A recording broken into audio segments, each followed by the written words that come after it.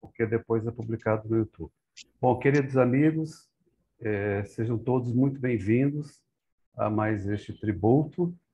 É, excepcionalmente, esse é um tributo um pouco diferente, porque por conta da proximidade do passamento do nosso amigo Fábio Massal. Né?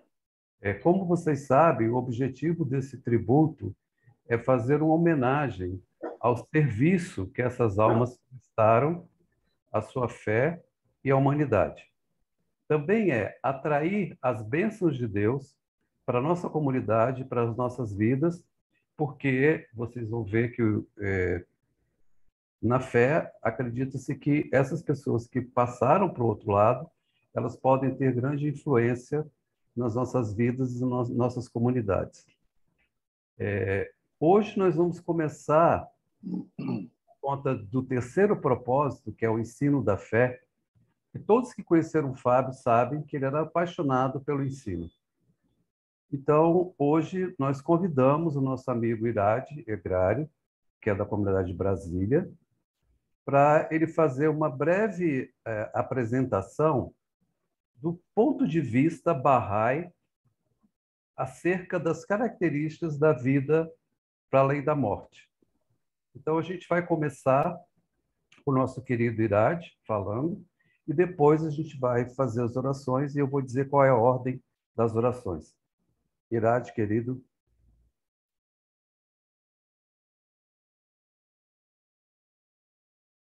Bom, Paulo, muito obrigado. Obrigado pelo convite que a comunidade Barra de Vitória me fez, né, de estar aqui com vocês.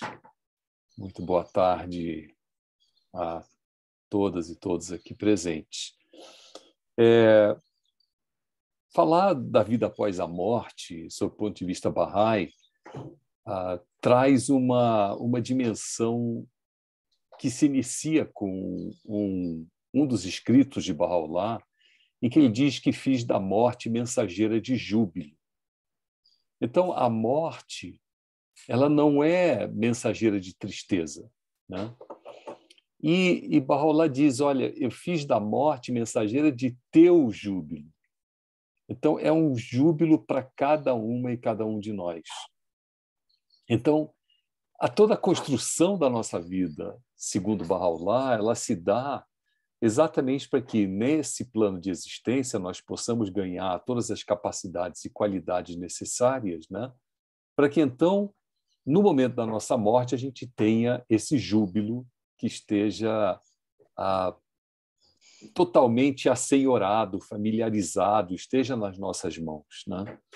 Bahá'u'lláh diz que o intuito fundamental da revelação dele, Bahá'u'lláh, e de todos os profetas e manifestantes divinos, né, é de fazer com que cada ser humano né, possa evoluir espiritualmente nesse plano de existência, para que na hora da nossa morte a gente possa ascender ao trono de Deus, a, a essa dimensão divina, no grau máximo de pureza e santidade e com desprendimento absoluto.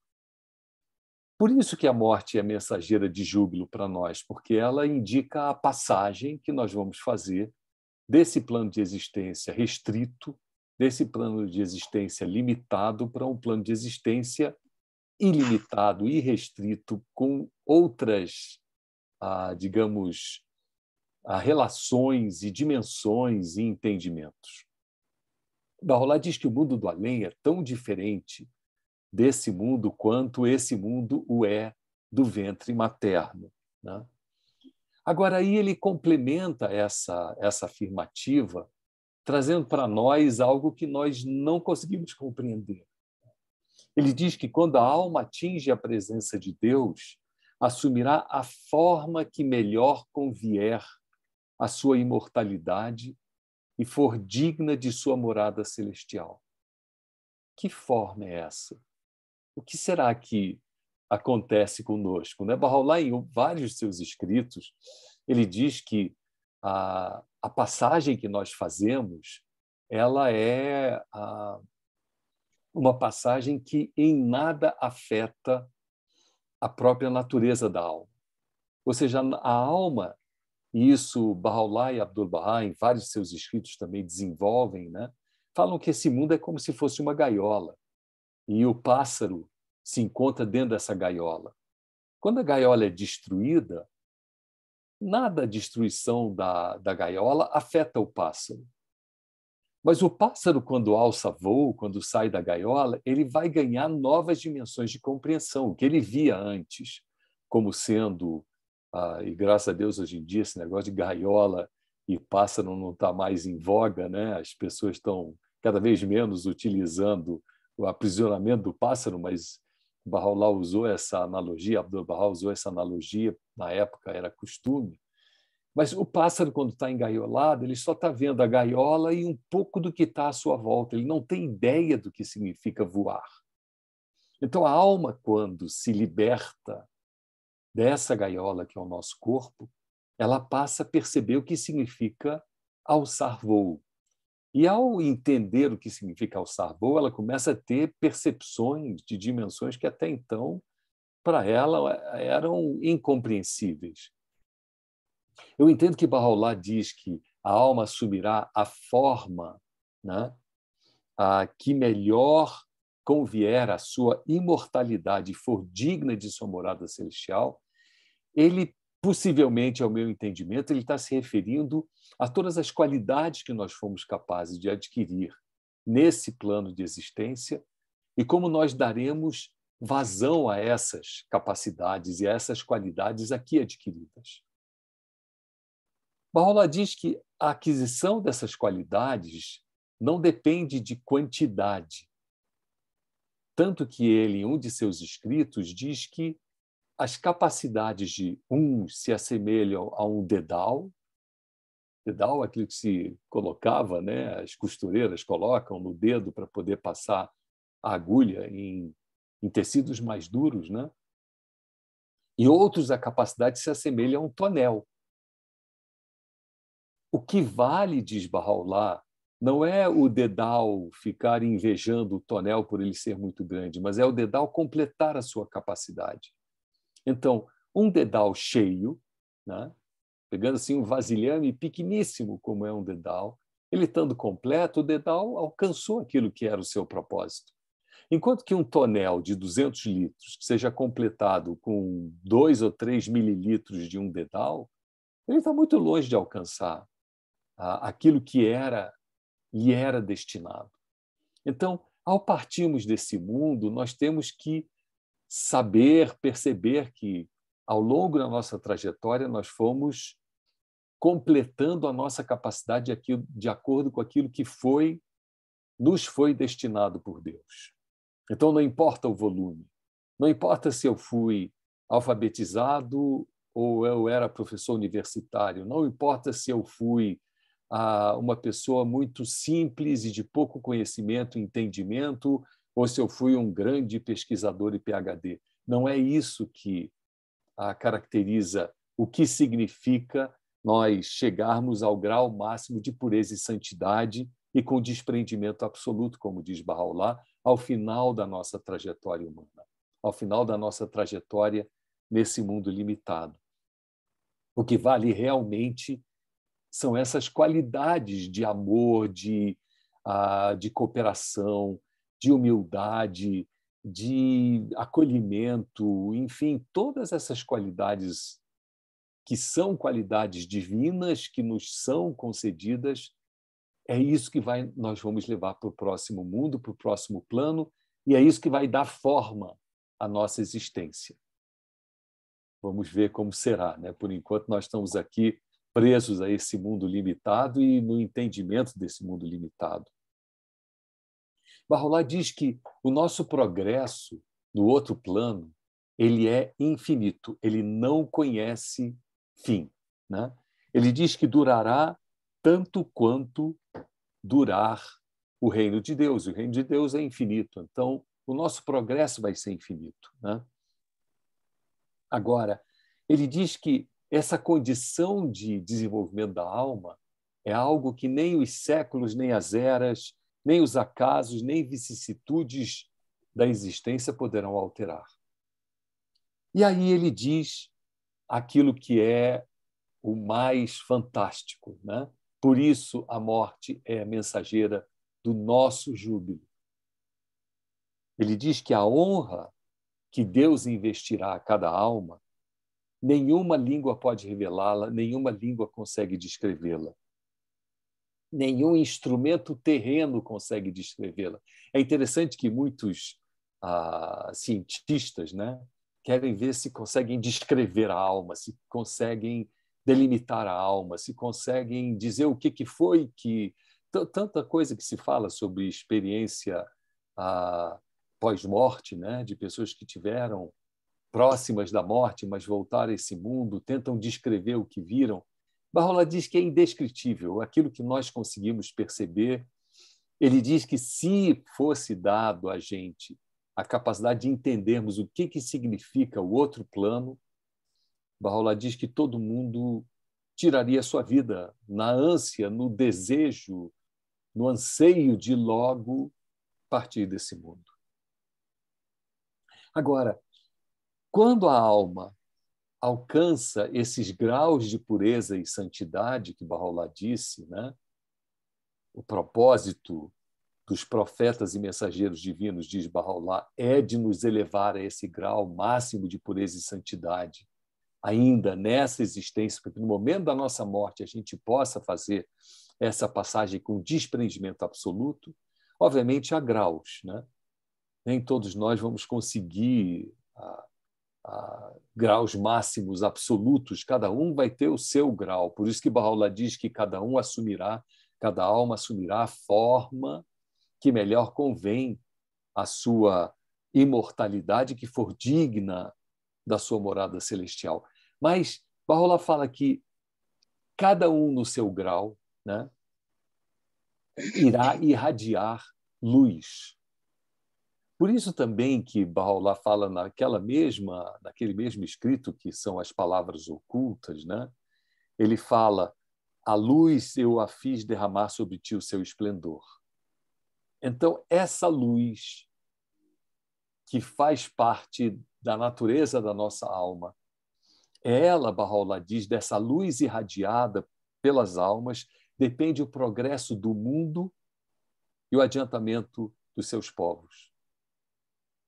Bahá'u'lláh diz que essas almas, dependendo do seu grau, né, daquilo que nós conseguimos acumular e desenvolver na nossa existência terrena. Nós seremos ah, como fermento que leveda, leveda o mundo. Ou seja, qual é o papel do fermento na formulação do pão?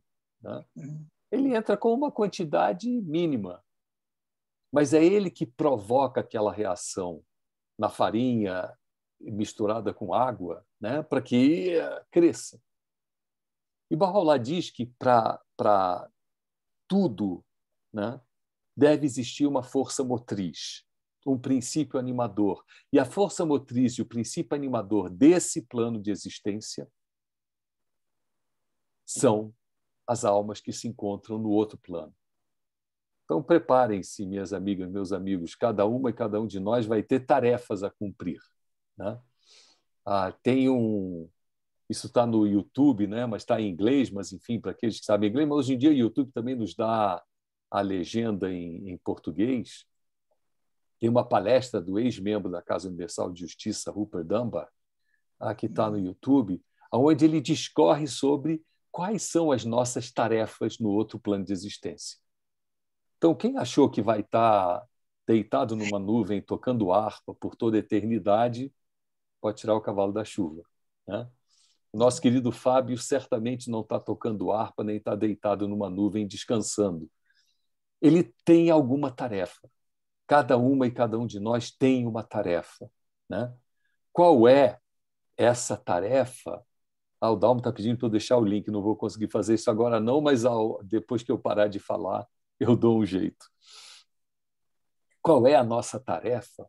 Nós não sabemos, porque a nossa tarefa depende do que nós acumulamos nesse mundo do que nós conseguimos construir nesse mundo, como qualidades, a construção da nossa alma, as qualidades que nós conseguimos desenvolver na nossa alma.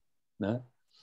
Ele diz que as almas no outro mundo são a força animadora que faz manifestarem-se as artes e as maravilhas do mundo. Vocês já pensaram nisso? Nós podemos ser de acordo com aquilo que nós formos desenvolvendo de qualidades divinas na nossa alma, nós seremos essa força motriz que mexe e promove transformação nesse mundo. Aí Bahá'u'lláh dá também uma série de condicionantes. Né? Ele vai condicionando, ele vai dizendo, olha, isso é o, é o que vocês podem alcançar. Mas para que vocês alcancem isso, Bahá'u'lláh fala, a alma deve ter se permanecido fiel à causa de Deus e se mantido inabalavelmente firme em seu caminho. Claro, são desafios que para nós são muito grandes. Nós somos todos humanos, temos todas as nossas dificuldades, temos todas as nossas limitações, né? Ah, e o que significa ah, cada um de nós ter ou não se mantido inabalável ah, o caminho, firme no caminho de Deus, fiel à sua causa, né? Isso é Deus que vai julgar, não somos nós que julgamos uns aos outros e nem devemos nos julgar ah, com relação a esse fim, porque Bahá'u'lláh nos deu uma outra ah, chave, né? Ele diz que nós devemos nos avaliar a cada dia. Avalia-te a ti mesmo a cada dia, pois a morte sem prenúncio haverá de sobrevir. E aí, como é que você vai poder se avaliar depois de ter feito a passagem para o próximo plano? Notem, amigas e amigos, é só nesse plano que nós podemos nos avaliar. Interessante isso, né? No próximo plano, as, as condicionantes são totalmente outras. Né? No próximo plano, nós podemos evoluir, né? Bahá'u'lláh fala também outros seus escritos, através da misericórdia divina, mas também através das orações daqueles que estão nesse plano. Por isso que esse encontro hoje é tão fundamental. Não só fundamental para lembrarmos do Fábio e lembrarmos do amor que ele tinha pela causa, né?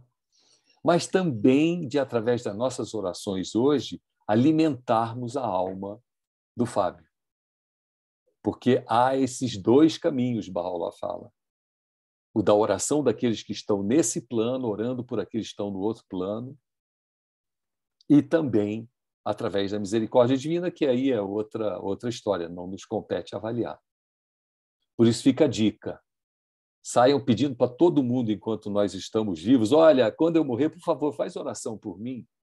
E tem que pedir principalmente para os mais jovens, né? porque os mais jovens é que vão ficar. Os mais velhos, não adianta pedir para gente muito velha, porque a oração lá, Bahá'u'lláh não menciona que como se dá essa intervenção lá, mas ele diz que essa intervenção aqui acontece.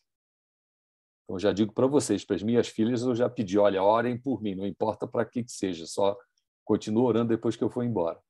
Porque é isso que Barrolá fala que é capaz de nos dar essa possibilidade desse, dessa evolução. E, por fim, né, a Barrolá fala que a, esse, essas almas, símbolos do desprendimento, têm provido e continuarão a prover o impulso supremo que move o mundo dos seres. Esse mundo é provido por esse impulso. Né? Mas, por outro lado, a alma que esteja, tenha feito a sua passagem desse plano para o próximo plano, né? ela é capaz ah, de ah, iluminar a todos os mundos. Isso também é muito fantástico. Quer dizer, se nós nos prepararmos, se nós nos desenvolvemos, se nós fizermos a nossa parte nessa etapa da nossa vida, que é crucial e única, porque, segundo a compreensão Bahá'í, não há volta, né? o crescimento se dá ao longo de todos os mundos de Deus. Né? Então, nós nascemos nesse plano e temos a nossa infinita continuidade nos outros planos. Essa é a nossa grande chance, essa é a nossa grande oportunidade. À medida que aumenta a nossa consciência do que vivemos nesse mundo, o nosso papel, a nossa responsabilidade fica cada vez maior para conosco mesmo. É isso, meus amigos. A ideia era fazer um, um breve relato e resumo né, daquilo que Barrolá nos traz sobre a vida após a morte, da grandiosidade do que é a vida após a morte, e que e eu termino com as palavras de Barrolá em Palavras Ocultas, que ele diz: Por que te ocultas diante desse esplendor? Não devemos nos ocultar, devemos nos preparar para essa próxima etapa da nossa vida. E agora que estamos nessa etapa e outros partiram, orarmos pelo desenvolvimento espiritual deles, para que eles ganhem cada vez uma dimensão maior de serviço continuado no outro mundo para com esse mundo. Obrigado. Muito obrigado, Herade. É sempre um prazer muito grande te ouvir. A gente agradece muito as suas palavras, que eu acho que trouxe um bom entendimento para as pessoas acerca dessas características que a fé acredita que exista na outra, na outra existência, na outra vida. Nós vamos começar agora a nossa parte devocional e eu só quero colocar dois adendos. Primeiro, que durante muito tempo, o período que Fábio esteve aqui em Vitória, nós às vezes tínhamos reuniões de orações. E a gente sempre começava essa reunião de oração com o Léo, que é o irmão do Fábio, fazendo o Pai Nosso. Então a gente vai começar também com o Léo fazendo o Pai Nosso.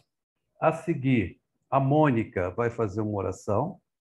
Depois o Luiz Alves vai, vai recitar a Epístola de Armado, que era uma epístola que o Fábio gostava muito. Depois dele, a Vênus vai fazer oração e depois o Beza vai entoar uma oração em persa. Então, eu vou só repetir para vocês anotarem na, na, mente de vocês, não é? Léo, Mônica, Luiz Alves, Vênus e Beza. Muito obrigado e vamos todos ficar em espírito de oração e pedir a Baolá e a Deus pelo progresso da, nossa, da alma do nosso querido Fábio. Pai nosso que estais no céu, santificado seja o vosso nome. Venha a nós o nosso reino, vosso, vosso reino. Seja feita a vossa vontade, assim na terra como no céu. O pão nosso de cada dia nos dai hoje. Perdoai-nos as nossas ofensas, assim como nós perdoamos a quem nos tem ofendido. E não nos deixeis cair em tentação, mas livrai-nos do mal. Amém.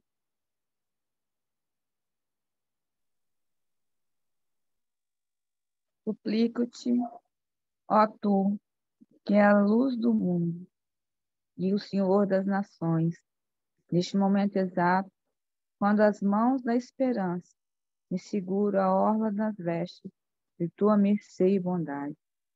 Perdoa teu servo, se elevar à região da tua proximidade, dirigindo suas faces aos esplendores da luz do teu semblante, volvendo-se para o horizonte da tua aprovação e aproximando-se do oceano da tua misericórdia, que durante toda a sua vida te expressaram louvor e arderam com o fogo do seu amor por ti. Ordena-me, ó Senhor, meu Deus, tanto depois como antes de sua morte, o que seja próprio de tua suma bondade e excelsa misericórdia. Possam os seres que a ti ascenderam, eu te peço, ó meu Senhor, recorrer àquele que é o mais sublime companheiro e abrigar-se à sombra do tabernáculo da tua majestade e do santuário da tua glória. Do oceano do teu perdão, esparge sobre ele, ó meu Senhor, o que os torne dignos de permanecerem por toda a duração da tua própria soberania, dentro do teu mais excelso reino e teu domínio supremo. Potente és tu para fazer o que te apraz. Baha'u'llah.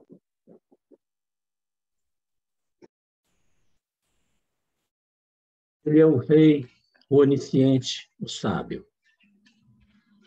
Eis que o rouxinol do paraíso canta sobre os ramos da árvore da eternidade, com santas e suaves melodias, proclamando aos sinceros as boas novas de que Deus está próximo. Chamando aqueles que têm fé na unidade divina, para entrarem na corte da presença do generoso.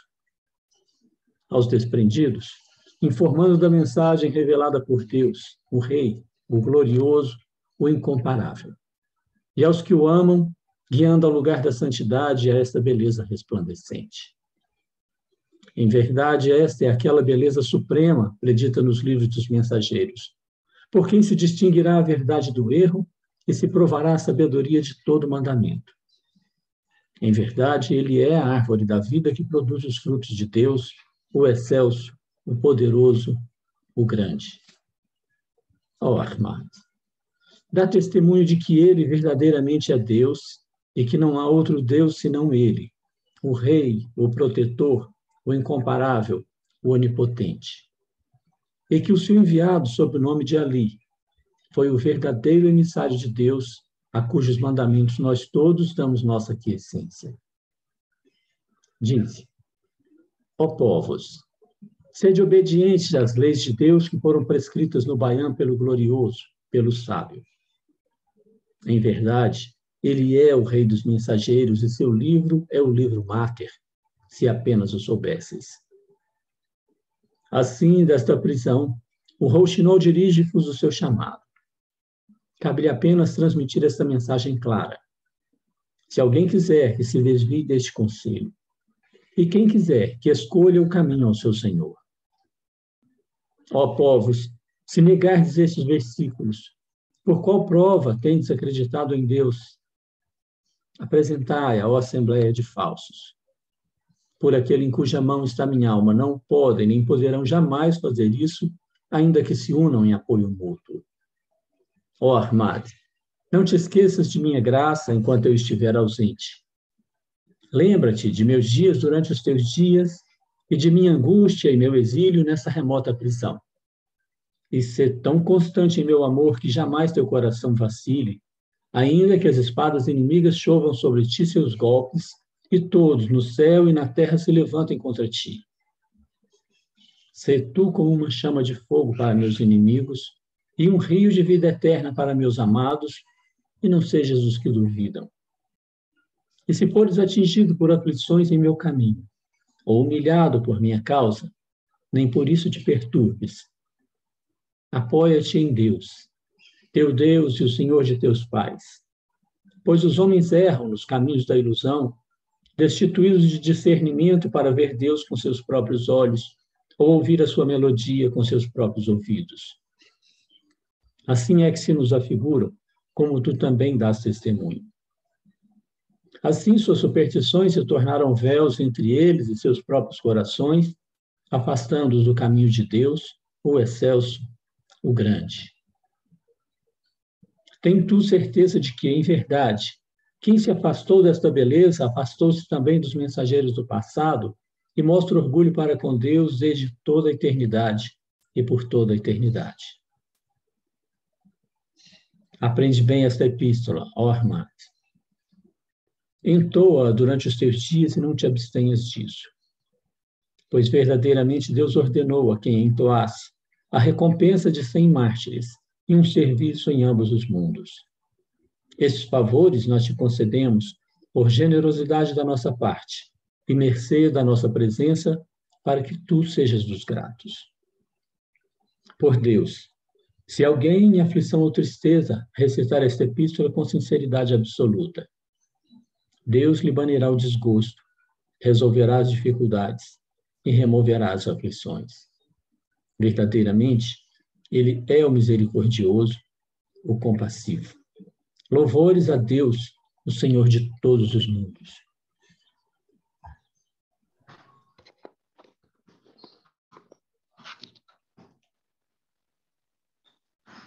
Ó oh, meu Deus, ó oh, tu que perdoas os pecados, tu que concedes dádivas e afastas aflições. Suplico-te verdadeiramente que perdoes os pecados dos que abandonaram as vestes físicas e ascenderam ao mundo espiritual. Ó meu Senhor, purifica-os das transgressões, as tristezas desvanece-lhes e transforma a sua escuridão em luz. permite que entrem no jardim da felicidade, se purifiquem com a água mais límpida e no mais sublime monte contemplem teus esplendores. Aduba.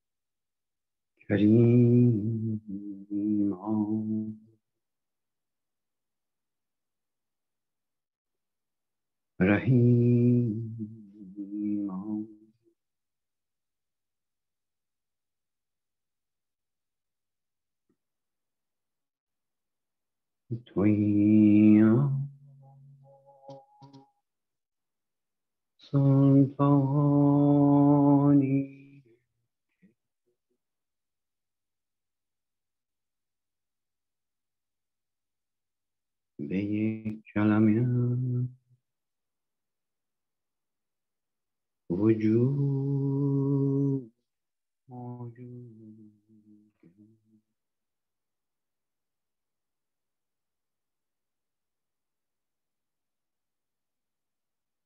The.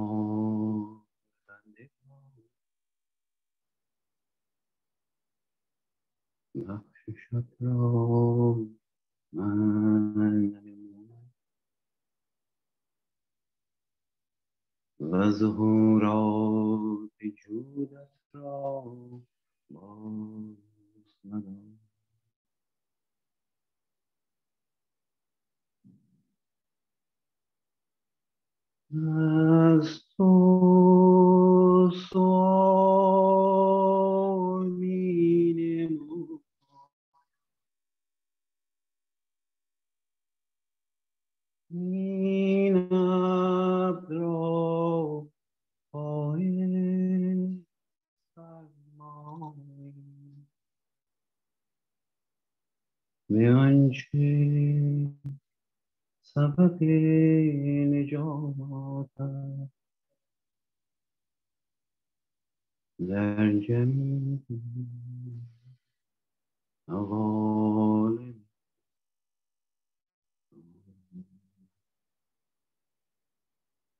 توی مقتدر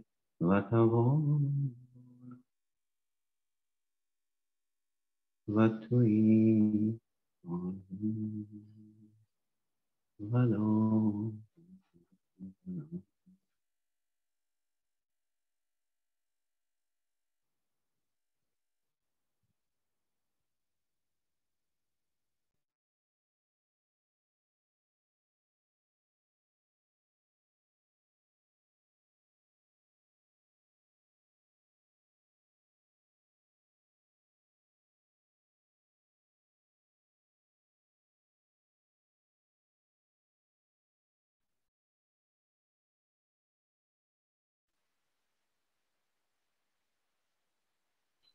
Bom, queridos amigos, muito obrigado por esse momento especial de orações.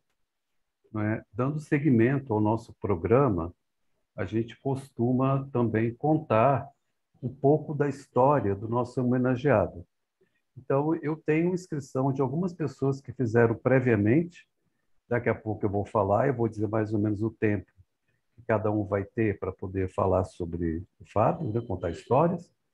Mas a gente vai começar com o meu grande amigo Léo, que é irmão do Fábio, e que eu tive o prazer e o privilégio de conhecer é, desde que o Fábio veio para cá. Então, Léo, a gente está aqui é, carente de te ouvir, de pequenas histórias que você possa contar sobre o nosso querido Fábio. É, boa tarde a todos. Antes de mais nada, né? Mais uma vez agradecer à comunidade Barrais de Vitória e de outros estados também, né? porque esse acolhimento não sabia da importância que a grande comunidade Bahá'í tem no Brasil, né? não conhecia pessoalmente, conhecia. O, o áudio está muito baixo, não conseguimos ouvir. Tá alto, baixo, aumentar. Melhorou? Melhorou um pouco? Não, ainda está baixo. Não, eu estou te ouvindo bem aqui. Melhorou? Aumenta o teu som, Léo. Melhorou agora? Melhorou? Eu tô, eu tô ouvindo bem. Eu também tô ouvindo que é Dá para ouvir. Ótimo. Então. Obrigado. Vamos voltar, então, aqui. Não, não, tranquilo. Vamos voltar. Então, como eu conheci o Paulo, né? Tive o privilégio de conhecer o Paulo nessa situação. É, não sabia da dimensão, da dimensão, no caso, da fé Bahá'í, da religião que meu irmão praticava, ao qual eu não tinha o total entendimento dessa religião, certo? Fiquei muito feliz, honrado em saber que meu irmão era uma pessoa que passava e transmitia fé, coisa que para a família nós não tínhamos esse entendimento. Por quê? Porque desde cedo ele foi um rapaz do mundo. Ele viajou bastante, ele foi criado para o mundo. Saiu bastante, saiu cedo de Vitória. Tem uma história que eu lembro que ele entrou para a Bahá'í porque acho que mais de 30, 40 anos que tem a Bahá'í, se não me engano. Em Jardim da Penha, quando inaugurou lá a Bahá'í. E o Fábio, meu pai, falou assim, não tira meu filho daqui, não deixe ele sair. E aquilo, eu era menor, eu não entendia por que meu pai falava aquilo. Né? E hoje eu vejo o sentido no que meu pai falava. Entendo o significado disso. E umas épocas que eu morei com o Fábio, trabalhando, viajando, o Campos sabe disso, veja, as pessoas, tive uma época que eu trabalhei com o Fábio, aprendi muito, e via uma virtude nele, que ele era um cara, uma pessoa de fé, não demonstrava na minha frente, mas no seu particular, no seu íntimo, na sua paz, ele orava a noite toda. E eu falava, rapaz, como é que você faz isso? Ele, eu gosto, né? eu me sinto bem. Eu falei, então acho que nosso pai tinha razão. Né? Que bom que você encontrou uma identidade na sua vida. Que bom que você pode estar fazendo algo para você e transmitindo para as pessoas. Né? Essa é uma das virtudes, até porque ele saiu de casa muito cedo. Foi trabalhar fora, morou em vários estados, várias cidades. Então, eu não tive esse convívio, foi mais de 25 anos, fora do Fábio. Quando ele veio, nós ficamos rindo. Quando ele veio para Vitória, na casa do Paulo, ficava rindo. E contando casos da vida dele. E a gente comentava aqui, falava, ô Fábio, como é que você conseguiu vencer na vida, fazendo coisas que a gente não acreditava que você conseguiria fazer? E uma dessas coisas que eu falei com o Paulo, que ele estava em Manaus, uma fábrica, né? E desceu em São Paulo, na rodoviária do Tietê, de ônibus, e para impressionar os donos das empresas, para dar credibilidade a ele, para ser um fornecedor dele, o que, que ele fazia? Ele ia para o terminal rodoviário Tietê, em São Paulo, colocava o teto, tomava um banho, chegava de ônibus, botava um terno, gravata, todo bonito, e ia para o saguão do melhor hotel de São Paulo. Na época era o Meridien. E de lá ele ligava para o grupo Bast, né, que era um dos proprietários da, da empresa, que eu conhecia matéria-prima para Manaus, e ele ligava, meu amigo, aqui é o Fábio Marçal, de Manaus, eu já estou em São Paulo, tem como você me mandar alguém buscar aqui para ir na sua empresa? De repente, não, aparece um carro preto com um chofer. Vamos, Fábio, vamos para a empresa. E assim ele conseguiu galgar o caminho dele, com espiritualidade, com virtude. E eu chamava ele, brincava, na época eu falava, rapaz, você é um bombril, mil e uma utilidades. Agradou a várias pessoas, Sim, agradou, desagradou as outras? Sim, como qualquer um de nós. Então, acho que a vida nos ensina isso. Essa passagem aqui, nós estamos de passagem. E eu acho que o mais importante de tudo que eu aprendi nesse breve momento que eu estive aqui com ele, Paulo, em sua companhia, vi que ele foi determinado. E vi que ele tinha esperança. E vi que ele tinha fé. Isso que eu posso falar dele. Obrigado a todos. Nós que agradecemos, Léo. Muito obrigado.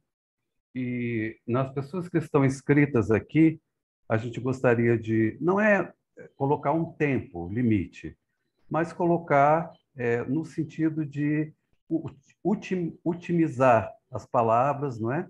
E eu tenho aqui uma sequência. O primeiro é o Luiz Alves, que vai falar algumas palavras acerca disso. Eu também vou dizer para vocês que logo após eu vou falar o nome das pessoas que se inscreveram previamente e depois a gente vai encerrar o programa e vai abrir para quem quiser falar. Tem pessoas que levantaram a mão, mas como o programa exige, eu não posso passar a palavra agora. Então a gente tem Luiz Alves, o Beza, Dona Filhinha, Zargan, Dalmo e depois eu, tá bom?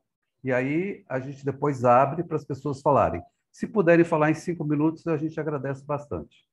Então, Luiz Alves, por favor. É José Alves, mas tudo está tranquilo. Não preocupa. O... Está difícil para mim hoje. Uma, uma, uma alegria, uma alegria, meus amigos, estar com vocês hoje aqui, olhando a tela eu vejo o rosto de tantos amigos a quem o Fábio tinha muito amor. Muito amor a todos vocês, não, não conheço todos, mas todos que, que vejo aqui, ele, ele mencionava com muito amor, com muito carinho, desde que conheceu a fé em Vitória e a formação que ele teve. Então, o amor dele por esses amigos era algo que marcava, e marcava também o amor que ele expressava por Bahá'u'lláh. E ele dizia que foi algo que ele aprendeu com Dona Tuba. E ele tinha muito carinho por Dona Tuba, Sr. Dona Gui, especialmente, mas com Dona Tuba, ele falou, faça oração para seu amor por Bahá'u'lláh aumentar. Ele fazia orações para que o amor dele sempre aumentasse por Bahá'u'lláh, e ele tinha um profundo amor por Bahá'u'lláh. Uma característica especial do Fábio era a generosidade dele. Ele tinha um espírito generoso e ele estava pronto para se entregar e, e, e se desapegar para a fé. E seguramente nós aprendemos isso com ele e nós é, e, e, a gente com certeza sabe que isso isso está tendo um resultado muito especial para ele, que seguramente Deus, que não fica devendo nada para nós, está sendo generoso com ele nesse novo plano que ele está. Eu encerro as minhas palavras aqui agradecendo muito a comunidade de Vitória, que recebeu de volta o Fábio nos seus últimos dias, e ao Paulo Perim, que o acolheu da forma como acolheu e promoveu as, as reuniões de oração para o conforto dele. Por último, ficou minha alegria de ver que o Fábio, enfrentando a, a dor que enfrentava, a provação que era a doença, ele conseguiu manter firme na fé, manter constante e planejar esse momento que nós estamos vivendo hoje. Ele fez contato conosco aqui em Goiânia e pediu: Você falaria num, numa reunião em, em minha memória? Claro que eu falaria, Fábio. Claro que eu falaria. E uma pessoa que, no momento que vivia tão turbulento, ter, ter essa tranquilidade de fazer esse planejamento, eu gostaria de, quando for minha hora, também chegar assim. Obrigado, Paulo. Obrigado a você, querido. Desculpa trocar o nome, hoje está um dia difícil. Beza, querido, é você.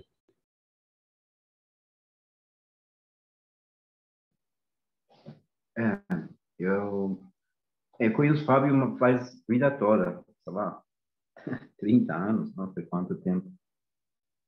Aí, é, no início eu pensei ele muito falador, muito fanfarrão. a impressão que dava e que ele ganhava as, as conversas no cansaço. Ele tinha um estilo próprio, todos conhecem, todos conhecem ele. Aí, mas a verdade, nossa amizade é, perdurou todo esse tempo, ah, sabe? Aí virou é mais que amizade, é uma irmandade, tá? Eu, eu tinha um apreço muito grande para ele. Eu gostava muito dele, não muito das muitas coisas que ele tinha. Eu odiava ele fumando cigarro. Quando eu viajava com ele, eu ficava cheirando cigarro direto, sabe? Eu falava para ele, a melhor coisa que aconteceu quando ele parou de fumar, e que não adiantou muito depois para antes, mas ele ele ele é uma pessoa difícil. As pessoas que conhecem daqui, acho que todos conhecem ele, mas o que eu posso dizer, eu nele eu vi alguma coisa realmente diferente. É, ele não tinha é, salam aleik na vida, ele não tinha meias palavras, sabe? Ele era muito intenso em tudo aquilo que ele fazia. Ele, ele disse que ele adora as três virtudes nas pessoas, não? É, que é ele Fábio tinha essas três essas três virtudes. Ele é semi-radiante, tá? E ele ia com uma determinação assim incomum para terminar aquilo que ele iniciava. Então, é, ele tinha realmente ele é uma pessoa espiritual nesse sentido. Ele dava muito margem para ser julgado porque ele não era muito assim, é, como chamar, socialmente correto em muitos jeitos dele, mas eu nele via bastante espiritualidade. É, era uma, uma coisa assim. E uma coisa, uma certeza que eu tive agora, nos dias finais que eu conversei com ele quando nos despedimos, em São Paulo, antes dele para Vitória, é, que eu tinha certeza que ele, ele, era, ele era querido por Bahá'u'lláh. Ele era querido por Bahá'u'lláh. Ele era, ele era, sabe, tinha alguma coisa, por alguma razão, que a gente não sabe, se brincamos com isso, era favorecido. Era favorecido de Bahá'u'lláh a ter jeito, maneira que ele foi, foi embora, foi uma prova para mim.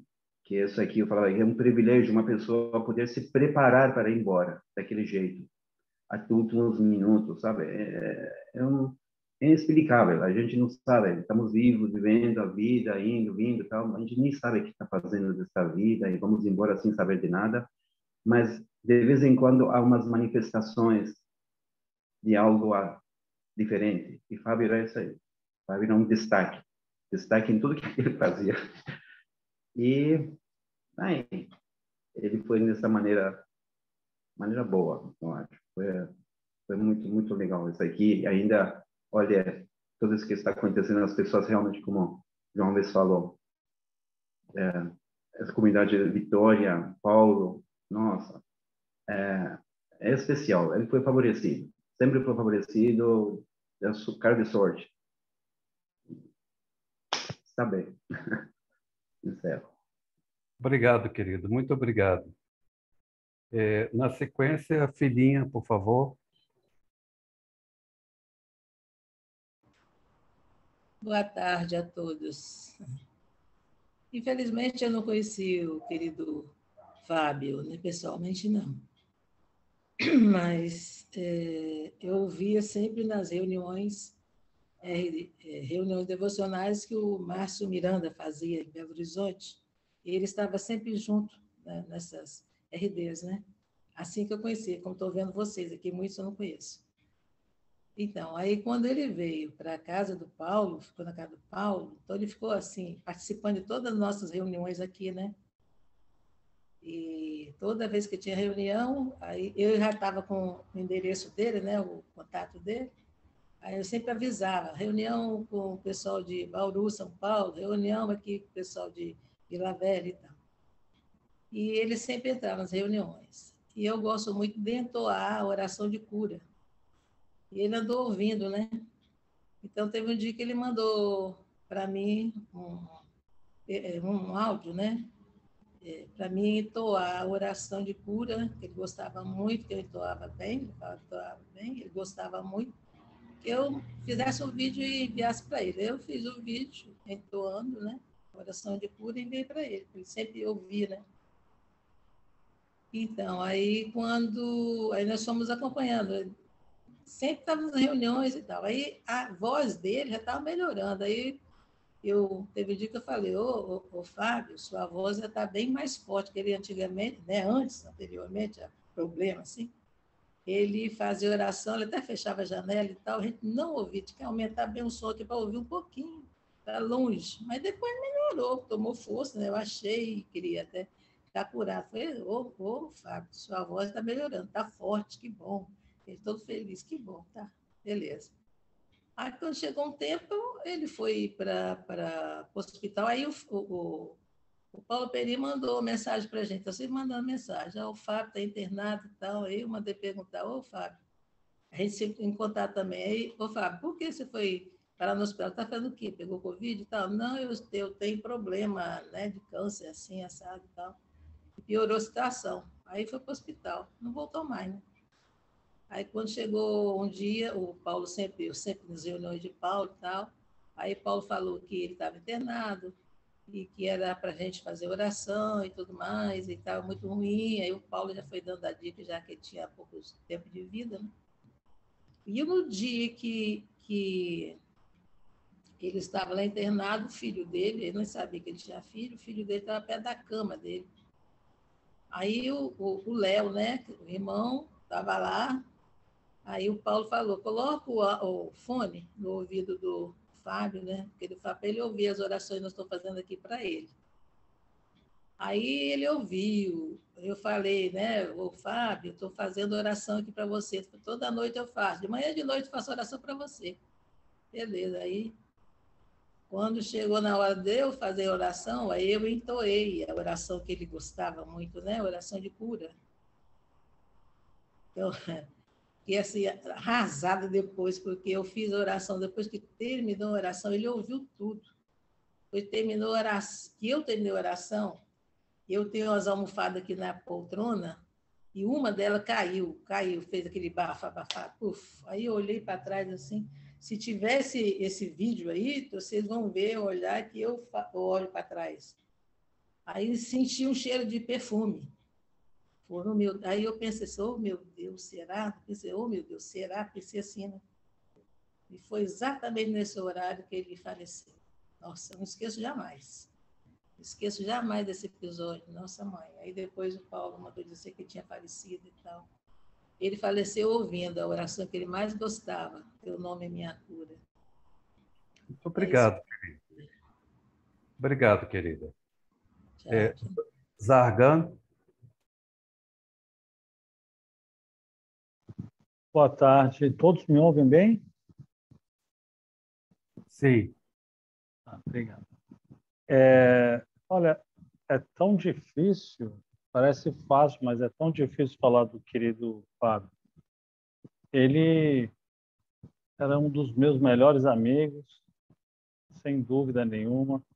Conheci o Fábio ainda adolescente, com 14 anos de idade, e foi na reunião, uma conferência é, de ensino em Campo Grande, Mato Grosso do Sul. Estou vendo o querido Paulo Campos aí, é, foi na mesma época teve, quer dizer, houve uma leva de pessoas do Brasil inteiro para fazerem o ensino é, em Campo Grande. E o Fábio um, é um pouco mais velho que eu, então ele esteve lá e a gente é, se conheceu, realmente foi um amor à primeira vista. E ele realmente tinha um espírito de servir a causa indomável. E eu lembro que na logo durante a conferência foi decidido e conversar com o prefeito de Campo Grande sobre a fé para também pegar autorização para fazer algumas atividades na nos órgãos públicos e tal. E o Fábio foi escolhido pelo comitê na época e a Assembleia Local de ser uma das pessoas que iria para essa reunião com o prefeito. E foi super bem sucedido e, e as autorizações para todas as atividades foram dadas. Aí a gente tinha alugado um local é, para ser a sede é, barra provisória. Na realidade, era, era uma casa do meu pai. E aí o, todos os barrais estavam lá, os jovens, e todo dia, realmente a gente tinha feito uma grande amizade com os jovens, todo dia a gente estava junto. Acho que o Paulo lembra disso, né, Paulo? E aí de lá a gente combinava para alguns bairros longe, né? Uma delas era Moreninha, acho que o Paulo deve conhecer, que era o maior bairro da cidade. E a gente ia para lá, assim, sabe, com poucos recursos, é, aquela coisa toda que a gente sabe, né? Levava água mineral para a gente tomar, ficava o dia inteiro visitando as pessoas. Mas, assim, o espírito que pairava nessa campanha era maravilhoso. Depois o Fábio resolveu vir morar em Campo Grande. Né? Na época, ele tinha a esposa dele, depois tinha os, é, os dois filhos, e eu conheci esses meninos bem pequenininhos. É uma pena que eu não estou vendo o Fabinho aí, tá? Foi maravilhoso. E assim, e meu pai depois tinha uma loja. Todo quando ele estava em Campo Grande, praticamente sempre ele tinha alugado uma casa próximo de lá. Quase todo dia ele ia lá. E assim, meu pai realmente tinha adotado o Fábio como filho. Né? Então ele sempre ia lá e era um amor incrível, né? E a gente e ele era meu irmão mais velho, a gente sempre estava é, feliz com as coisas. Tanto é que toda vez que ele viajava, ele falava assim: Zargan, fica lá para cuidar da minha casa, para para não ficar só e tal. Depois ele foi embora de lá e bom, eu também fui e a gente acabou se encontrando sempre nas conferências, no Soltanier, em outros lugares. Mas o último que eu lembro que eu encontrei com ele pessoalmente foi na ascensão, é, no Bicentenário de Barral, lá em Brasília. E foi, assim, maravilhoso, sabe? A gente ficou, teve um abraço, acho que de dois, três minutos aí, e a gente se falou muito. E numa das reuniões que a querida dona Filhinha estava falando, as reuniões devocionais que o querido Márcio de Belo Horizonte, que está aí também na reunião, sempre estava fazendo, Aí o Fábio me encontrou novamente, a gente trocou o telefone, começou a conversar e sempre pediu, ó, pede para teu pai, tua mãe entrar nas reuniões. Só que assim, pela dificuldade da tecnologia, pela idade deles e tal, eles nunca entraram porque eu não estava mais morando lá com eles, né? E, enfim, quando eu soube da doença, eu fiquei realmente muito triste. Isso era, eu vou já encerrar, viu, Paulo? Para não demorar muito. E eu lembro que eu falei durante 10 minutos no particular com ele, quando ele me falou é, o que estava acontecendo com ele. É, e os papéis se inverteram, porque em vez de eu consolá-lo, de eu dar palavras de força, ele começou a falar e aí, bom, eu sou bastante emotivo para quem me conhece, as lágrimas foram descendo e ele começou a me consolar. Falou, Zargan, eu estou bem, estou tranquilo. O que for a vontade de lá vai ser. E não se preocupe e tal. Falei, olha, todos os dias eu vou estar fazendo epístola de armado para você. Mas, é... bom, enfim, ele me consolou. Eu tenho os áudios dele até hoje comigo guardados. São memórias maravilhosas. Todos os dias, nas minhas orações, eu lembro dele. E é incrível como ele está presente, sempre está comigo. É, mas eu queria também, assim, como o querido Zé Alves falou, queria agradecer demais o, o nosso querido Paulo Perim, que cuidou tanto dele, é, que foi uma peça fundamental, deu aquele amor, aquela, é, aquele calor que só um irmão pode dar. Então, um beijo para vocês. Muito obrigado. Obrigado a você, Zargan. Dalmo, você, querido. É. Obrigado. é, é, muito interessante, ficou tão concentrado nas, nas, nas, nas histórias né, que os amigos estão contando, né? E eu tive esse convívio com o Fábio muitos anos. Se você puder abrir sua câmera, fica melhor. Ah, ela está com problema, ela abre e fecha. Mas, ok. Eu convivi com o Fábio muitos anos. E eu entrei na fé com 20 e poucos anos, 20, 21, 22. Foi nessa época que conheci o Fábio aqui em Goiânia. Né? Então, a, é, é, sabemos da importância né, de pessoas que são firmes na fé para contribuir no aprofundamento. Né? Hoje nós temos o Instituto. Então, a, a, então o Fábio, como eu convivia muito com ele nas, nas reuniões das, das instituições, né, é, ele demonstrava um amor fora do normal, assim, fora do comum. Né?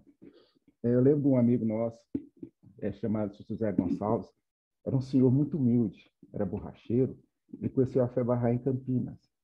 Né? E ele né, olhava para os barrais que era, tinha, muito, tinha muita espiritualidade, eles conseguiam ver uma aura. Então, a senhora que eu não conheci, Margot Wall, toda vez que ele via essa pessoa, ele, ele enxergava como se fosse um anjo. Isso era na visão dele, né? Então, a, a, essa capacidade do José Gonçalves, né, de conseguir ver essas, essa, é, esses seres que são tão iluminados por dentro, né, independente de suas características, dos seus problemas, né, mas conseguiam ver essa espiritualidade, né. E o Fábio realmente era algo muito diferente, né.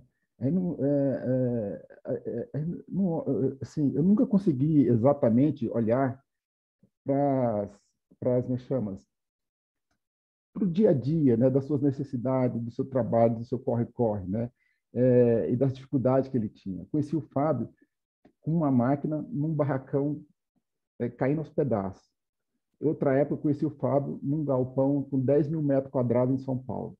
Então, ele tinha essas, é, esses extremos, né? ele, ele vivia nesses extremos, né? É, na hora com muita abundância, na hora com é, extrema dificuldade. Mas tinha uma coisa diferente nele era o amor por Barrolá, que era algo assim, é, é, era impressionante. Então, assim, é, ele, quando falava de Barrolá, ele olhava nos nossos olhos, né? O, querendo expressar o tamanho do amor que ele sentia por Barrolá. Né? Ele chegava para mim, você conhece o grau de Barrolá? Né? Você sabe qual é a posição de Barrolá? Né? Você entende a, a posição de Barrolá? Várias vezes ele chegava para mim e, e, e, fazia essa pergunta para mim. Né? Então, e aquilo assim, eu ficava impressionado. Né? Então, eu era obrigado a ler é, Rompedores da Alvorada três, quatro vezes, né? até aprender os nomes de todos, né? É, nomes em peças, porque eu queria entender que amor é aquele que ele manifestava. Muito diferente, né? É, muito diferente de, um amor simplesmente falar, ah, eu gosto, eu amo mas ele sabia exatamente uh, é, é, transmitir isso, né? E uma pessoa extremamente generosa. Né? Uma das maiores lições que recebi do Fábio foi que nós tínhamos jovens aqui com problema com droga. Né? Ele mal conhecia esse jovem, né? A Assembleia falou assim, ah, não. e ele fazia parte da Assembleia. É, problema com droga, com polícia, né? E era um jovem na informação, né? Ele simplesmente pegou esse jovem e levou para dentro da fábrica dele. Foi ser motorista lá, carregar os produtos. Né? Você vê a transformação desses meninos, que a gente não tinha esperança, né? Era um barrai, mas não tinha assim, muita esperança, porque droga é uma coisa terrível. Ele pegou, carregou esse menino, né? levou para dentro da sua fábrica. Né? Eu não sei o que o Fábio fez com ele, mas esse, esse rapaz hoje tem família, tem filhos, vive uma vida digna. Né? Ele só saiu da fábrica do Fábio né? ou foi por mudança, ou foi porque ele arranjou um outro emprego muito melhor. Né? Então, assim, é, são várias é, passagens, né? são, são, várias coisas assim, que a gente. É, é, é, é eu queria tentar lembrar, passar para vocês. Né? O, e eu fico feliz aqui de ver os relatos. E pena que eu não ouvi direito o que o Léo falou, né? sobre a, a questão do pai dele é, do, do, pai do Léo, né, sobre a, questão do, do, do, quando deixou o Fábio lá na, é, é com a comunidade Bahá'í. Isso para mim foi muito importante. Eu, eu, tive uma dificuldade terrível, né, de entrar na fé por causa da família católica, extremamente católica, né? Então, sim, eu passei por essas dificuldades.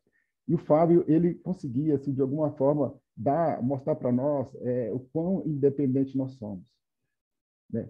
Quanto que nós podemos receber a força e o poder de Barrolar para mudar as coisas, né? Sair do zero e é, do nada você é, poder construir algo, né? E ele sempre ele falava que era esse amor, essa fé que ele acreditava na rolar. Obrigado, amigos. Obrigado a você, Dalmo. É, amigos, agora é a minha vez, né, de poder falar algumas coisas. E eu queria contar rapidamente os, os momentos assim em que a gente teve uma convivência, eu e Fábio, né? É, o Fábio tornou-se barraia aqui em Vitória, ainda adolescente, na mesma época que eu também era barraia e adolescente. Então, eu conheci o Fábio é, já ou durante esse tempo. Só que é, eu fiquei 40 anos sem ver Fábio. Depois disso, eu fui como pioneiro para Portugal, fiz outras coisas, tal, não sei o quê. Um dia, eu estava é, numa reunião de orações que a gente faz na quarta-feira, por um acaso queria convidar vocês, porque na quarta-feira que vem agora, às 8 horas, a gente fará especialmente para o Fábio. E eu durmo cedo. No outro dia de manhã eu vi, Fábio estava aparecendo nessas reuniões, eu vi um recado do Fábio que precisava falar comigo. Aí eu mandei e falei, Fábio, a hora que você quiser pode chamar. Aí ele me chamou, a gente começou a conversar, e eu sempre gosto muito de brincar, não é? Aí o Fábio virou para mim e falou assim, Paulo, o que, que você pensa acerca do suicídio? Eu falei, de quem? Meu ou seu? Porque se for seu, você resolve, mas se for meu, eu não quero, não. Né? Mas brincando e tal, eu falei, mas sabe, por que, que você está falando isso? Ele falou assim, Paulo, porque eu estou com diagnóstico é, de câncer do pulmão e um médico me deu dois meses de vida. Eu falei, Fábio, querido, quem é esse médico para falar isso? Porque, na verdade, só Bahá'u'lláh, só Deus é que pode dizer a hora da nossa morte. Não é? E o que está acontecendo? Ele falou que estava com dificuldade tal, não sei o quê. E eu não acreditem, não é porque eu sou uma boa pessoa, é porque eu sou Bahá'í. Eu tento ser Bahá'í. Sou Bahá'í, não, eu tento, não é? E às vezes, às vezes, a gente tem a oportunidade de poder fazer um serviço. Às vezes. Às vezes a gente pensa assim, o que, que Abdu'l-Bahá faria? E a gente não consegue. Mas nesse dia eu pensei, o que, que Abdu'l-Bahá faria? Aí eu falei, Fábio, vem para cá. Né? Pega avião, vem para cá. Ele falou, Paulo, não tenho como ir. Eu falei, não se preocupa. Eu vou agora arranjar uma passagem e você vai vir. Eu fui na internet, vocês têm que prestar atenção, porque é tanto milagre de Barrolá, tanta coisa que foi feita para que Fábio viesse para cá, que impressiona a gente. Eu fui, olhei na internet, tinha uma passagem de pontos que eu tinha da Latam por 18 mil pontos. Eu falei, olha, está ótimo. Fui lá, tentei comprar, não consegui comprar de jeito nenhum. Aí eu peguei, liguei para Latam. A mulher falou: não, aqui você pode comprar, você tem que pagar 60 reais, e só que aqui são 60 mil milhas. Eu falei: espera um pouco, senhora, por favor. Aí eu fui lá, entrei de novo e achei uma passagem por 3 mil milhas. Eu falei: nossa, fantástico. Isso era uma sexta-feira. Eu falei: Fábio, você pode vir na terça? Ele falou: posso. Falei, beleza, estou comprando a passagem, mandando para você, dá um jeito de chegar até Guarulhos, não é? Quando você chegar em Guarulhos, é, você vai embarcar. Terça-feira à tarde, Fábio liga para mim e fala assim, Paulo, você comprou passagem para ontem. Eu falei, não, está aqui, ó, terça-feira, terça-feira é hoje.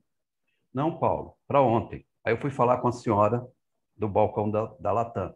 Ela falou, não, meu senhor, o senhor comprou passagem para outubro. Por isso que foi tão barato. Eu falei, meu Deus, e agora? O que, que a gente vai fazer?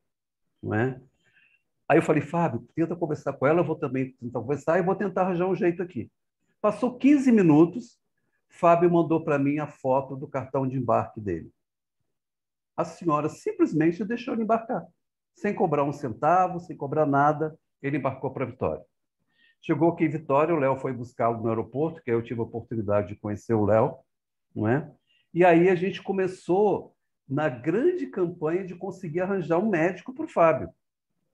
Porque, infelizmente, ele estava sem plano de saúde e a gente sabe como é difícil essas coisas. E aí, eu pedi a vários amigos, várias pessoas. Um dia eu cheguei em casa, Fábio estava muito triste. Eu falei, por que você está tão triste, Fábio? Ele falou, Paulo, eu não consigo um médico, um médico que me atenda. Eu falei, Fábio, a gente já tentou tudo. A única coisa que a gente pode fazer agora é convidar os amigos para fazer uma reunião de oração. E vamos fazer nove dias de epístola de armado, não é? para que você consiga o médico. A gente convocou uns amigos, é, João Alves, é, várias pessoas que estão aqui participaram disso, não é? E a gente começou, então, essa oração. No primeiro dia que a gente começou, no outro dia de manhã, já tinha uma consulta marcada para o Fábio. E nove dias depois, ele começou a fazer uma série de exames, biópsia, tudo que era necessário para que pudesse é, seguir o tratamento dele. Não é? E eu me lembro que a gente. É, ele, ele, como qualquer pessoa né, que está enfrentando uma doença grave, não é? às vezes tinha suas dificuldades, como eu tenho, como qualquer uma pessoa tem. Né? E ele vinha para mim e falava assim: Paulo, eu estou com muita dor. Eu falei, tá bom, Fábio, o que, que você quer que eu faça? Entendeu? Porque não tem jeito, dor é dor, a gente vai, não tem como, né? A gente vai, vai ter que passar mesmo. E o Fábio tinha uma coisa, ele realmente pedia, porque eu fui ao médico várias vezes com ele, ele chegou a pedir ao médico dele que ele não queria sentir dor. E isso que vocês falaram, o tempo todo que Fábio estava lá em casa, eu ficava pensando: o que, que eu tenho para aprender com o Fábio? O que, que eu tenho para aprender com o Fábio? Né? Porque sempre a gente tem muita coisa para aprender com os outros. E era o amor a Bahá'u'lláh. O amor que esse menino tinha a Bahá'u'lláh era uma coisa, para mim, invejável. Entendeu? Porque ele tinha realmente isso no coração dele, de uma forma muito forte, não é? que me contagiava, que me ajudava. Então, geralmente, todos os dias a gente sentava junto, fazia epístola de armado. Às vezes a voz dele ele não conseguia, então eu fazia a epístola toda, não é? E aí as coisas começaram. Bom, lembra-se que ele só tinha dois meses, não é? Ele chegou aqui em julho e faleceu em fevereiro. Então ele ficou sete meses aqui, sendo amparado pela família, é? pela comunidade. E é, a, a, segunda, a penúltima vez que ele teve no hospital, ele ligou para mim, queria sair, e falou: Paulo, eu estou indo para casa, para minha casa. Eu falei, Fábio, eu estou com Covid, eu estava com Covid, então não pude recebê-lo. Não é? E aí ele foi então para a casa da Denise, que é a irmã dele, maravilhosa, com quem ele costumava ficar, não é? E aí, quando o Fábio falou assim para mim, Paulo, o médico mandou ficar nos cuidados paliativos. Você sabe o que é isso? Eu falei, sei não, Fábio. Pergunta para ele, entendeu? O que é cuidados paliativos? Que eu não queria falar para ele, né? Aí, beleza. Eu, então, eu, a gente decidiu, então, fazer uma reunião novamente, convocar os amigos para a gente fazer reunião de orações é, para Fábio, para que Deus abençoasse ele e para que ele pudesse ser acompanhado não é? e não tivesse que passar por tanta dor, tantas coisas. Eu tive o privilégio de, na sexta-feira, poder ter ido visitá-lo, já estava livre da Covid, então eu cheguei lá, estava o Léo e estava o Fabinho, né? Eu cheguei um pouco antes, por acaso. E depois, no sábado, a gente estava fazendo orações. E neste sábado, é muito importante isso. A comunidade veio bastante pessoas para essa reunião de oração no sábado. E nós fizemos orações, o Léo sempre começava com o Pai Nosso, não é? E nesse dia, quando a gente tinha terminando, estava terminando as orações, a gente pensou assim, gente, vamos colocar Allah Mostahoz, que o Fábio gostava muito, para tocar, e vamos pedir a Deus que mande umas hostes dos seus anjos para acompanhar Fábio. Isso foi por volta de quase nove da noite. Às nove e meia da noite daquele dia, Fábio fez o passamento dele. Então, o que a gente viu foi só milagre de Deus um atrás do outro, protegendo o Fábio, não é? E eu acho que é muito importante que a gente pense o Fábio me ensinou duas coisas muito legais. Ele falava assim, Paulo, a gente é baixo clero. Eu não sei se eles devem ter brincado com vocês sobre isso, não é? Que ele falava assim, a gente é baixo clero, a gente não precisa preocupar muito, porque a Paula vai perdoar a gente. E outra coisa que ele que ele tinha, ele falava assim para mim, Paulo, eu sou barra nativo. Eu falei, o que, que isso quer dizer, Fábio? Que eu vou chegar para a Barrola e falar, olha, eu não, eu não, eu me declarei Barrai, eu não nasci em família Barrai. Eu falei, meu Deus, você está arranjando um 7-1 para jogar em cima de Deus. Se você for primeiro que eu, se funcionar, joga para mim também. Entendeu? Então, eu tenho certeza que o nosso querido Fábio está lá, já jogou um bom 7-1 e que, se Deus quiser, vai nos amparar e nos ajudar. É, eu, encerrando a minha fala também, é, peço, agradeço muito a presença de todos vocês e a partir desse momento a gente abre é, para quem desejar fazer algum comentário, falar alguma coisa, é só é, levantar a mão ou abrir o microfone. E eu acho que tem uma coisa que eu gostaria de falar também, que especialmente Fábio, é, Léo, desculpa, Léo e a Denise, que são irmãos do Fábio, foram dois anjos é, durante esse processo todo da vinda para o Fábio para cá e do passamento dele. Quero agradecer muito aos dois. Acho que a gente criou uma amizade, se Deus quiser, por muito tempo. Susan, por favor.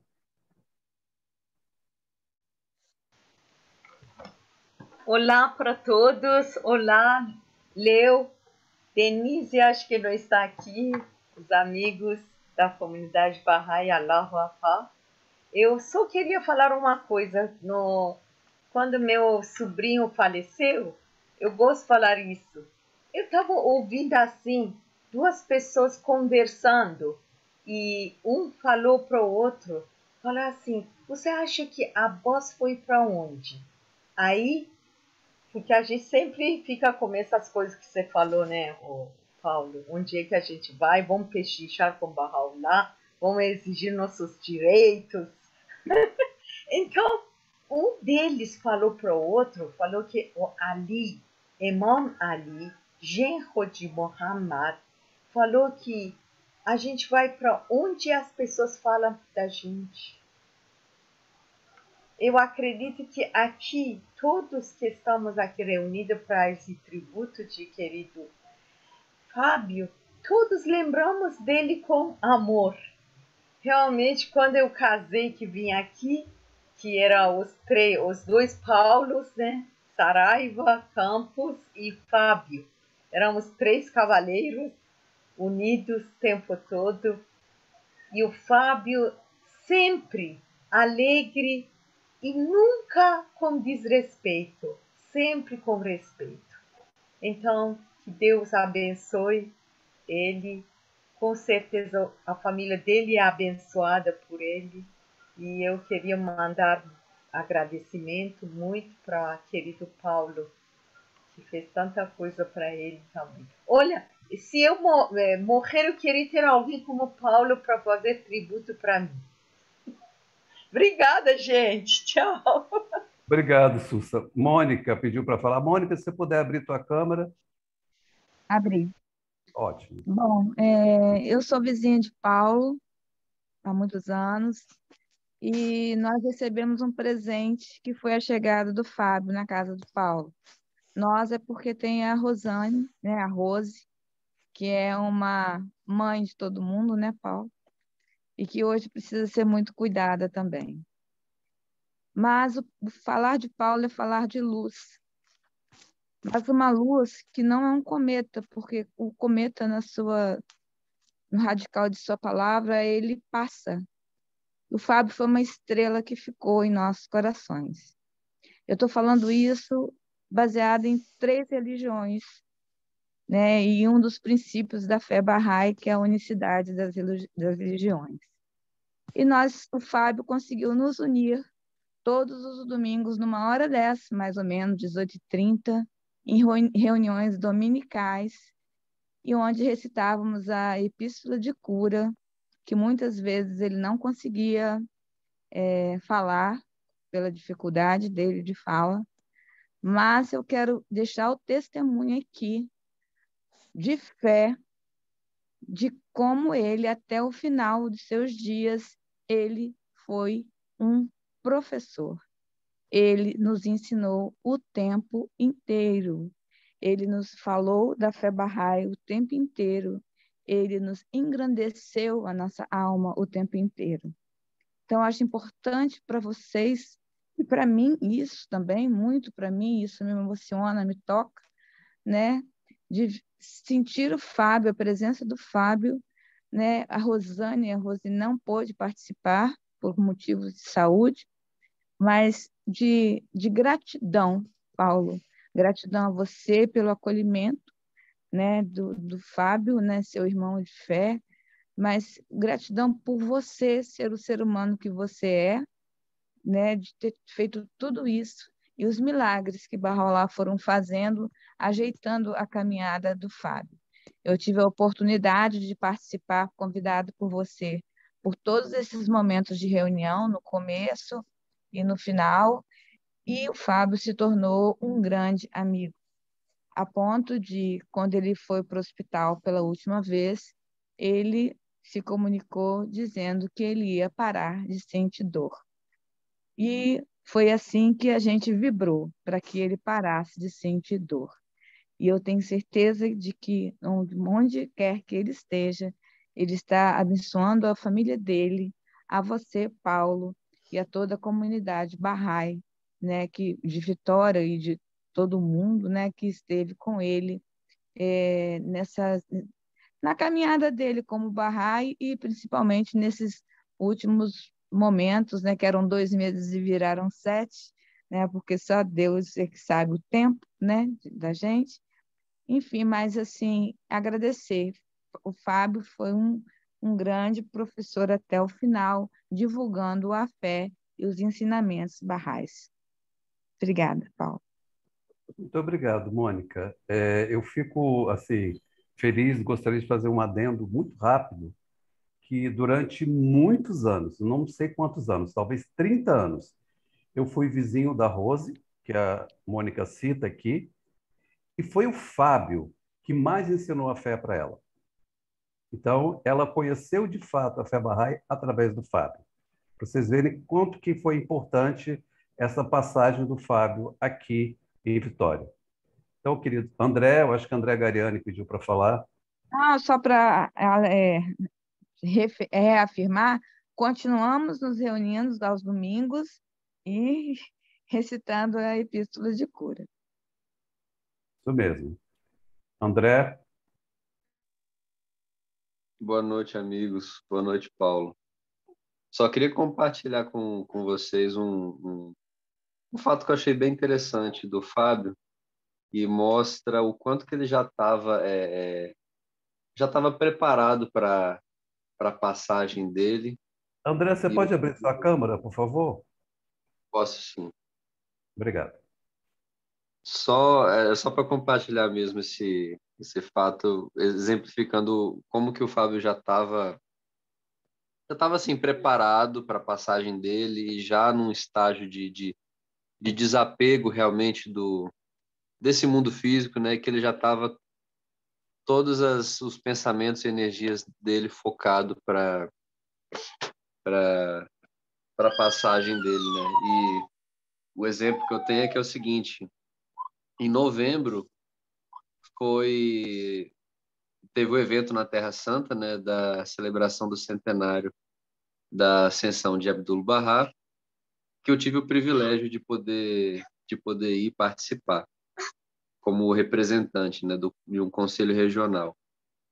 E aí eu fiz um, fiz um comunicado né, oferecendo aos amigos orações para fazer nos santuários sagrados. Primeira pessoa, uma das primeiras pessoas que me mandou mensagem foi o Fábio.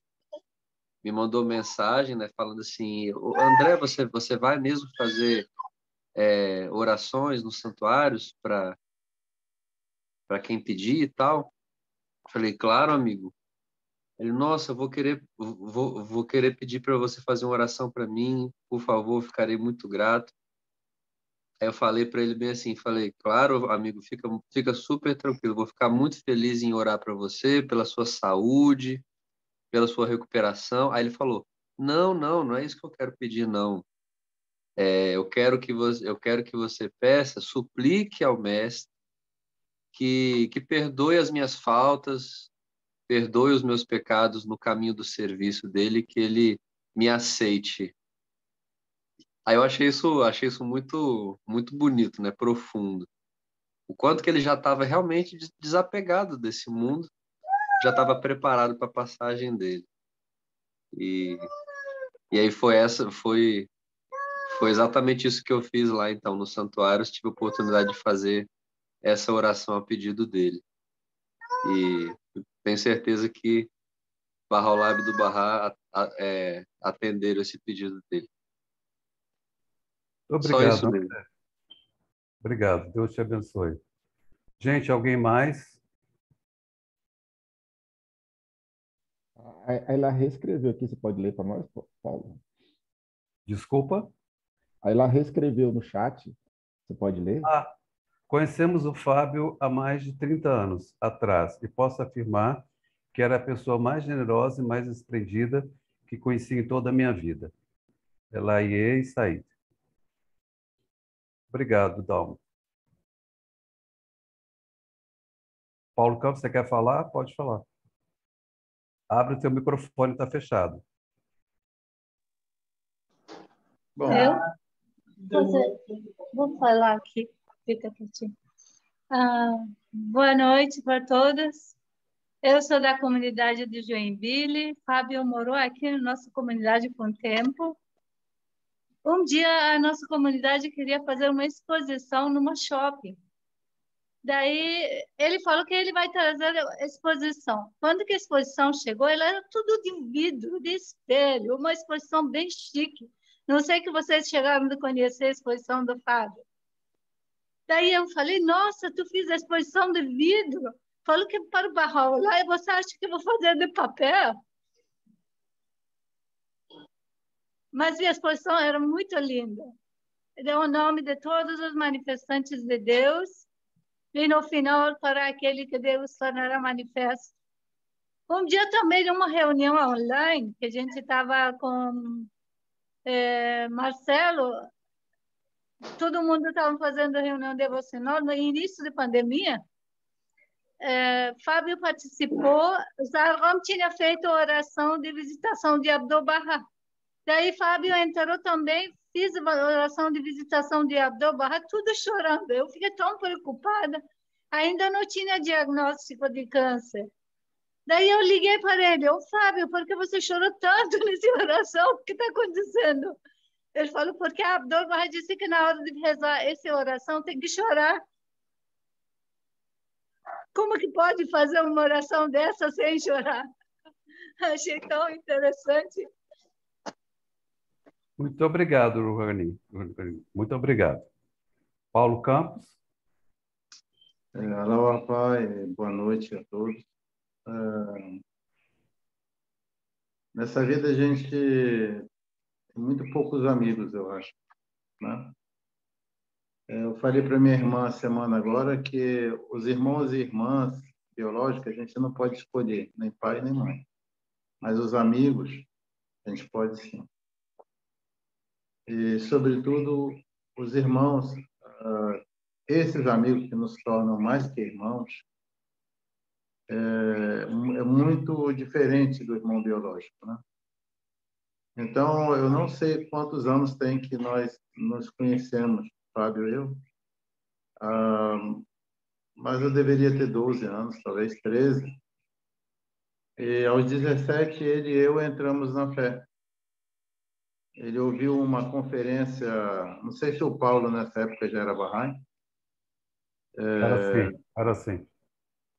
Então, com a Rosinha e a Chala, Maane, e agora tem nome de casada, né? mas é o nome que eu conheço.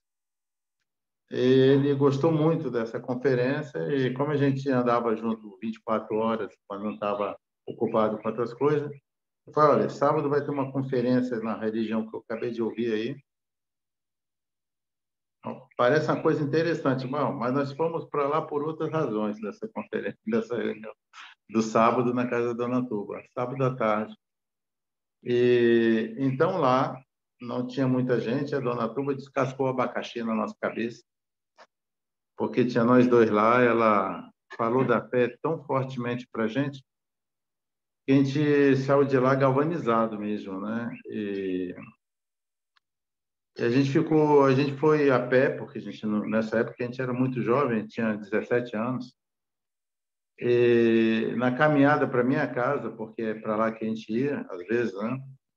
ele, a gente ficou mudo, a gente não, quase não se falou na caminhada. Depois, quando chegou em casa, a gente começou a conversar a respeito. E logo a gente passou a participar de todas as atividades da fé na comunidade, todas, absolutamente todas. Há uns 20 anos, mais ou menos, ou seja, na, quase 20 anos de idade, Fábio e eu passamos por aquilo que todos os jovens, quando entram na Bahá'í, passam, que é um momento difícil de dúvida.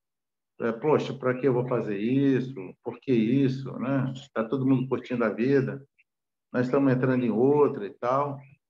E finalmente a gente estava a um fio de cabelo para sair da fé, tanto ele como eu. E nesse dia a gente decidiu de, de ficar num lugar sozinho, nós dois, e pegamos o livro de oração e foi aí que apareceu essa história da Epístola de Armate. Foi assim que ele e eu ficamos é, apaixonados por essa epístola, né?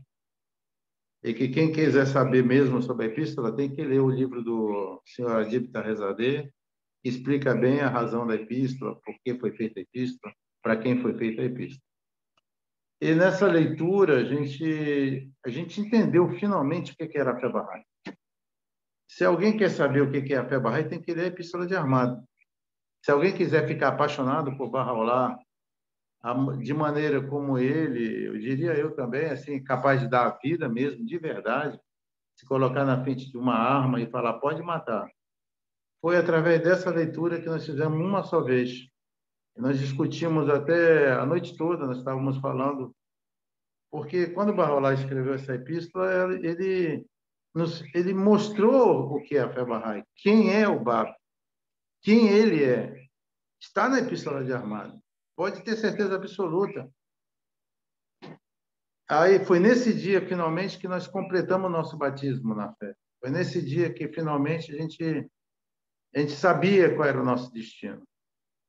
O Fábio, eu sei que muita gente poderia falar muitas outras coisas do Fábio e o Beza, que está também na reunião, quem eu amo muito, e o Fábio amava também muito. É, nós descobrimos finalmente o que que é quando a gente falava do, da história do Forte Sheikh Tabarsi e tudo isso, a gente a gente ficou imbuído desse espírito. Então o amor por Barraulá que o Fábio tinha na o amor que Fábio tinha permanentemente por Barraulá era permanente esse amor, era era real, verdadeiro como uma coisa que a gente pode tocar. Isso que eu gostaria de falar do Fábio. O resto vocês já falaram. Ele ele passou por esse mundo, era uma alma realmente especial. É uma pessoa que que sofreu muito também. Sofreu muito. Fábio sofreu muito aqui.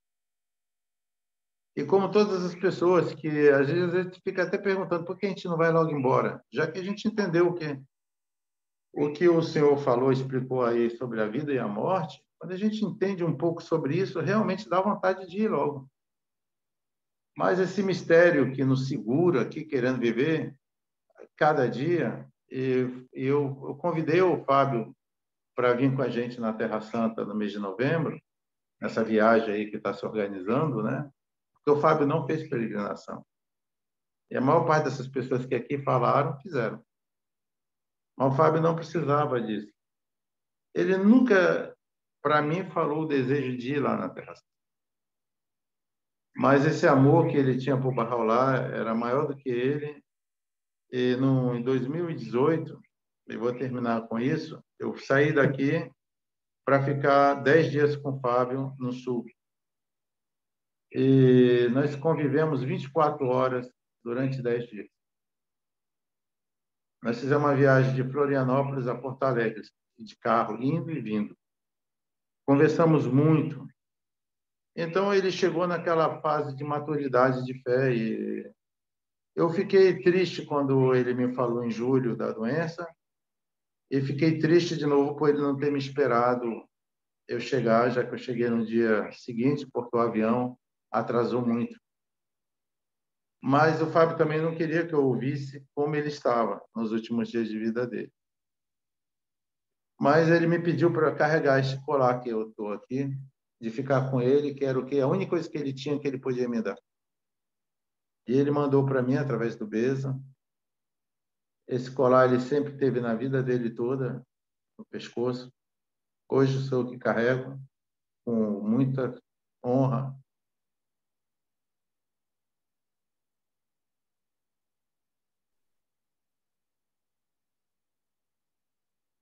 Me perdoa. Não tem problema. Mas ele me pediu para falar isso. Obrigado, ele, Paulo. Ele me ligou especialmente para falar isso, para poder falar dele. E eu sei que ele está muito bem onde ele está. Mas ele deixa um buraco e uma saudade muito grande. E, por favor, continue orando por ele. Sempre. E obrigado. Desculpa. Obrigado, obrigado você. Amigos, alguém mais? Só para eu gostaria de lembrar vocês que na quarta-feira nós teremos uma reunião de oração especial para o Fábio. Dona Guite, por favor. Seu som está desligado, Dona Guite. Só tem que ligar o som. Tá. Boa noite a todos. Realmente, acho que tudo que foi falado de Fábio é, só engrandece ele, é a alma dele. E eu fico assim comovida e feliz de ter conhecido ele menino entrando na fé e de vez em quando quando a gente se encontrava sempre ficava muito muito tocado justamente por esse amor a Bahá'u'lláh que era coisa que assim irradiava dele e ele não conseguia não falar sobre isso sabe e agora ouvindo todos vocês eu fico ainda mais comovido. Como a nossa amada fé pode mudar o destino das pessoas. Como um menino praticamente perdido na vida se torna um grande ser, tão cheio de, de qualidades, tão cheio de amor, tão cheio de dedicação. Isso mesmo é o milagre de transformação que só os mensageiros divinos podem fazer. E isso é o dom que nós todos recebemos e temos que ter muita gratidão e justamente dedicar a nossa vida para que outras pessoas tenham essa oportunidade de sair do nada e se tornar gente, gente de verdade que conhece o Senhor. Beijo para vocês todos. Obrigado, dona Guite. Muito obrigado mesmo. Acho que essas palavras vindas da senhora acalentam o nosso coração, porque a senhora é nossa mãe espiritual, né? Então é sempre bom ouvi-la. Queridos amigos, é, se vocês concordarem, a gente vai encerrando. Sim. E convidando vocês para quarta-feira, nesse mesmo link, às 20 horas, para uma reunião especial de oração para o nosso querido Fábio. Muito obrigado pela presença de vocês. Obrigado, Léo, por estar aqui com a gente, por ter nos dado essa oportunidade. Obrigado todo mundo. Agradeço a vocês. Boa noite para todos. Fica com Deus.